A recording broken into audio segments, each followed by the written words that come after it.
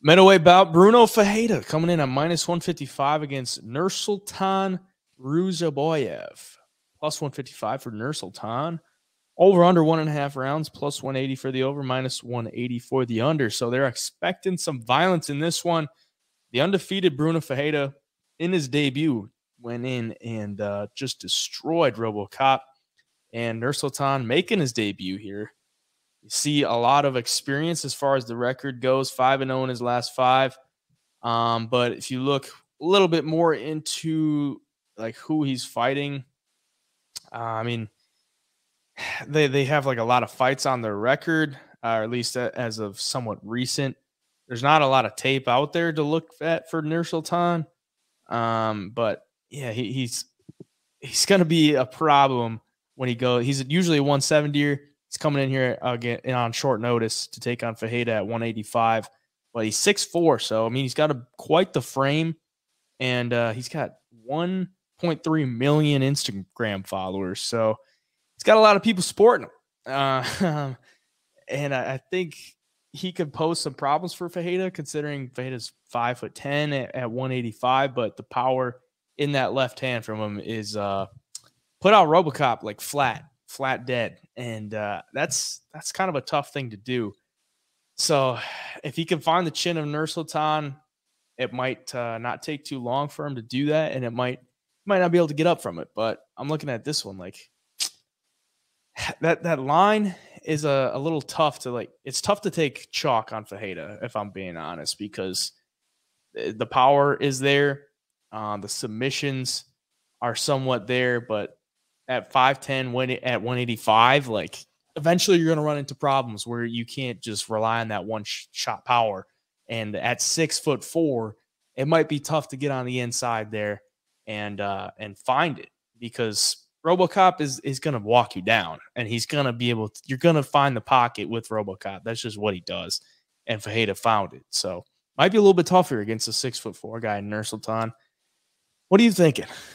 Yeah, it's tough. Um, this this uh Ruziboev, you look at his record, man, it looks padded as well. You you go back far enough, he's fighting guys that are, you know, 500 who are 20 and 24, 10 and 10. Um, so he's not really fighting any killers. He has a ton of wins on his record. And if you look, man, 20 of those wins are by submission, 12 by knockout, and he's got 38 wins. So he's a finisher for sure.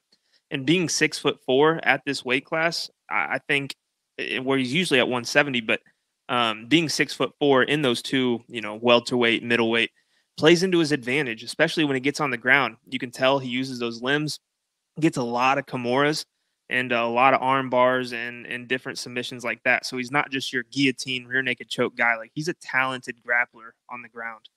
Uh, Bruno Ferreira against RoboCop. RoboCop was six three. This dude's six four. Uh, this dude's definitely longer though, if you look at him, than than uh, RoboCop. RoboCop's you know six three and just kind of put together. He doesn't have super long limbs or anything. He's just a big muscle head and uh, just came forward with his hands down at the wrong time, got clipped. So I do think Bruno Ferreira can find the chin here. I know the the height difference and the reach difference like seems like a lot, but the way he fights, the aggressiveness, he just closes that distance really fast. He's like not scared to get hit to give a big shot and I think he's going to have to, being five foot ten, like you mentioned. You you know, relying on that one shot when you're five ten at, at the 185 pound weight class is going to be tough as you start fighting better and better competition.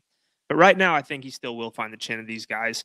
Um, Ruziboev, if he does win, I think it is by submission. I, I, think just you know being the longer guy, if this fight goes to the ground, maybe he gets a body triangle and just works his way into a submission. But I'm still leaning Bruno here. I think he does have that, you know, out of this world power in his hands that's just going to be able to put anybody out he fights. And if he finds the chin he'll just he'll do just that. So i think he gets it done here especially on short notice against Ruziboev.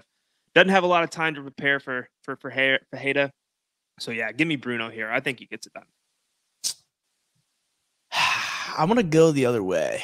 Whew. um not like a confident play but I just look at it like for one, Ruziboev's head looks freaking huge compared to his frame. Like if he gets hit in the head by Ferreira, uh, it's a pretty big head. So I think he could absorb some stuff. But the the grappling, he, he loves that Kimura.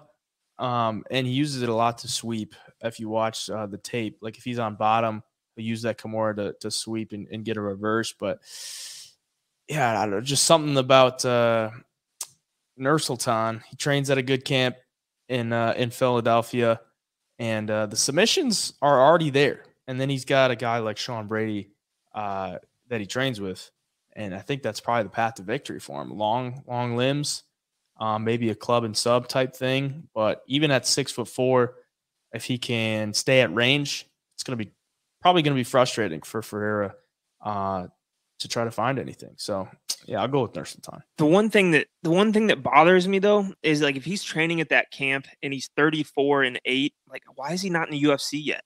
Why how come they didn't have him in here, you know, 5 years ago? It just something screams that padded record and uh you know, maybe he's not quite UFC level. I, I just got to be a reason he's not in the UFC yet at 34 and 8. How about this though? How about this? Uh Bruno Ferreira has never been to a third round, and he's never really been past 12 seconds or a minute in this into the second round. So how's his cardio?